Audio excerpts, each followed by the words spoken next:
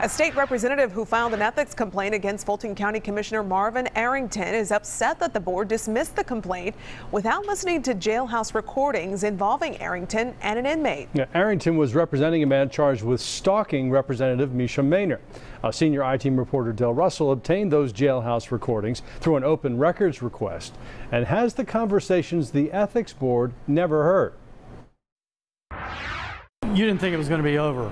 I did not. I State Representative Mesha to be the Mainor couldn't believe the Fulton County Ethics Board dismissed her complaint against Fulton County Commissioner Marvin Arrington without listening to jailhouse phone calls that included Arrington. So the case has been dismissed. Case has been dismissed without hearing any of the evidence. Mainor filed the ethics and a state bar complaint back in November, alleging that Arrington had a conflict of interest when he defends criminal cases for profit against the Fulton County District Attorney's Office, which he oversees as commissioner.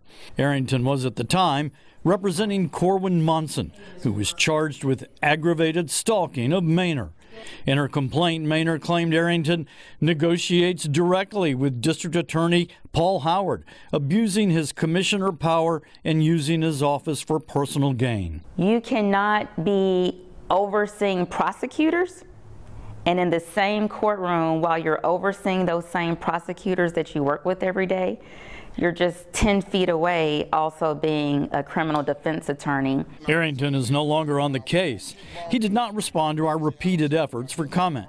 Arrington is quoted in Atlanta Progressive News as saying he was completely shocked to learn of ethics and bar complaints and stated both claims are completely frivolous. Last week, the Fulton County Ethics Board dismissed the case against Arrington during a meeting.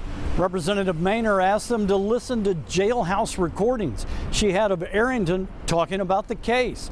But the board decided not to because they had concerns that the conversations would be protected by attorney client privilege. We're working on trying to get it done.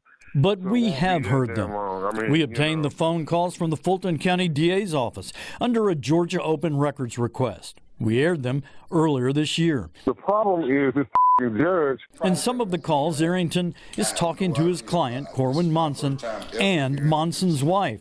Arrington said he can negotiate a plea with then District Attorney Paul Howard for a misdemeanor charge, but he was worried about the judge. Because I can get the DA's office to agree to the misdemeanor plea, but she might not accept it. What we didn't air at the time was Arrington explaining why he worked directly with then District Attorney Paul Howard and not assistant prosecutors. She's saying because I'm a commissioner for Fulton County, I'm using, I'm trying to influence Paul Howard.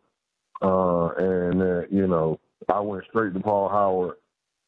Uh, and, and, yeah, I sure did. Arrington said he did that because Paul Howard was the only one who could make decisions. And in fact, in Fulton County, the DAs don't have the authority to do anything. They all have to go to Paul Howard.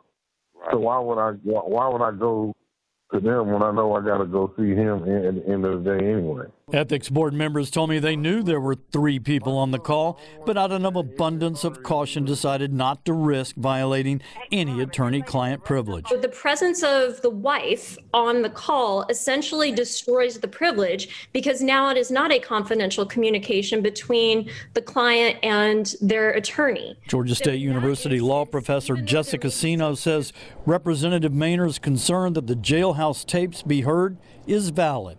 She thinks it might have been best for the ethics board to ask a judge to decide the issue. Unfortunately, in a lot of these circumstances, there is a he said, she said component, and this evidence would corroborate the she said side of it. Representative Mainor says she would be happy if the board takes the attorney client question to a judge to decide. Please do. Why didn't you? Instead of closing the case. Dale Russell, Fox 5 News.